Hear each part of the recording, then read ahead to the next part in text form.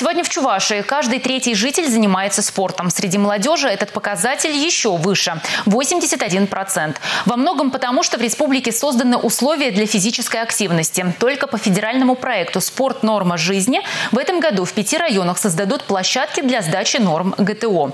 О том, как проходит строительство спортивного комплекса в Урнарском районе, смотрите в нашем выпуске. Комплекс ГТО способствует увеличению количества занимающихся спортом, приучает молодежь к здоровому образу жизни. Сегодня в поселке Вурнары живет более 10 тысяч человек, более 29 тысяч в районе.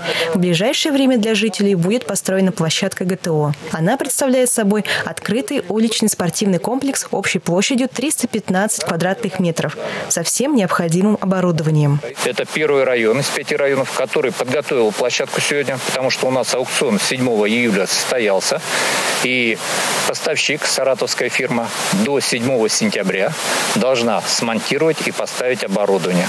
Потом уже в сентябре, 7 может даже, возможно, и раньше, глава района примет Рядом расположена лыжная база. Здание, в котором ранее размещалась ветеринарная служба, было отремонтировано в 2017 году. Имеется лыжная, освещенная лыжная трасса. Там все занимаются и молодежь, и взрослые постоянно там.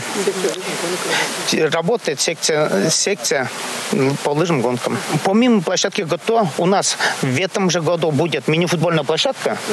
Но если успеем, на следующем году вот это пляжный волейбол будет будет. Всего за три года реализации программы «Спорт. Норма жизни» в Чуваши смонтируют 17 спортплощадок ГТО. В текущем году аналогичные комплексы будут построены в Козловском, Марпасасском, Урмарском и Цивильском районах. Анастасия Миловидова, Николай Скворцов, Республика.